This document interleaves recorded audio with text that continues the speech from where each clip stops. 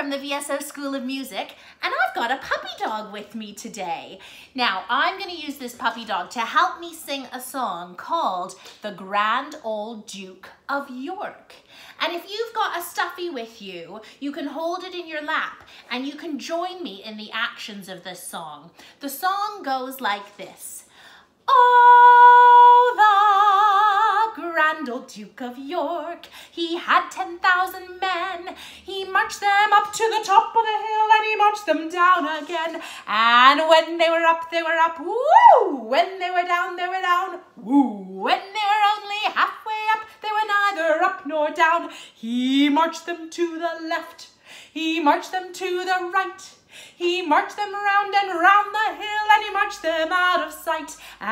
When they were up, they were up, woo! When they were down, they were down, woo! When they were only halfway up, they were neither up nor down.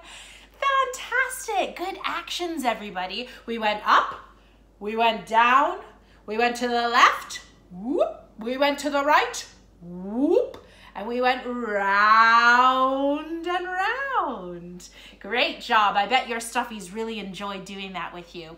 Now, I'm not sure if you heard in the words all about the grand old Duke of York. He had 10,000 men. 10,000. Oh my goodness. Can we count to 10 on our hands? One, two, three, four, five, six, seven, eight, nine, ten. Wow. And I thought today your activity could be all about counting up to 10. I thought you could find some objects and put them in groups of 10. So I've got a basket here with me and I've got some things in here. What have I got? Oh, I have some books. I have some books and I have some pens and I'm gonna put them in groups of 10. Let's see, we've got one, two, three, four, five, six, seven, eight, nine, ten.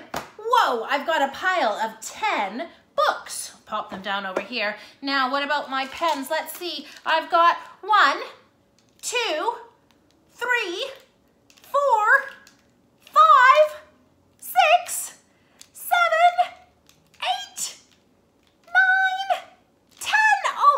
Goodness, I've got 10 pens as well. So I thought you could go around your house and see how many piles of 10 things you can make. It could be anything at all. Maybe you have 10 stuffies, I don't know. I bet you can find lots of things in your house that you can count up to 10. See how many piles of 10 things you can make.